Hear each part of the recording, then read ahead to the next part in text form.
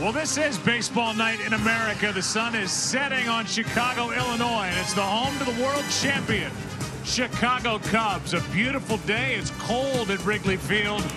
There are Yankee fans and Cub fans enjoying one another, and there's some of the young talent on display in this game.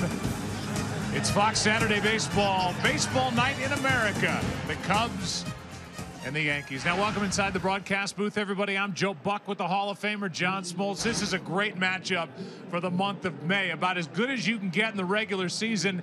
Talk about good. Aaron Judge has been good, maybe great. Number 99, the rookie for the New York Yankees, taking baseball by storm. Can't wait to watch him tonight. It's really been unbelievable. Joe Girardi has taken a team now where who told these teams they're supposed to rebuild? They're in it to win, and these youngsters are really helping them. Gary Sanchez last year came on the scene, dominated. Now it's Aaron Judge. We saw him last year, went into a little bit of funk, got hurt, but he has dominated baseball.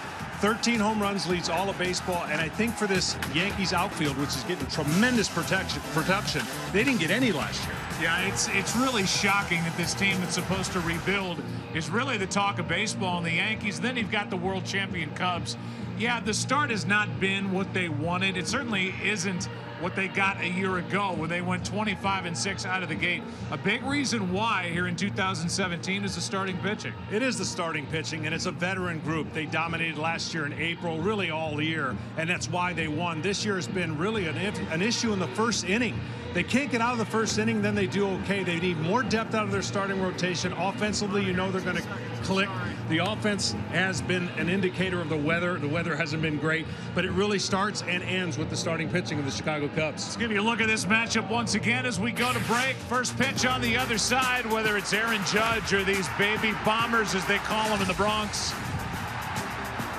There's Starlin Castro, a former Chicago Cub. And then you got the world champs on the other side. They're young, they're good.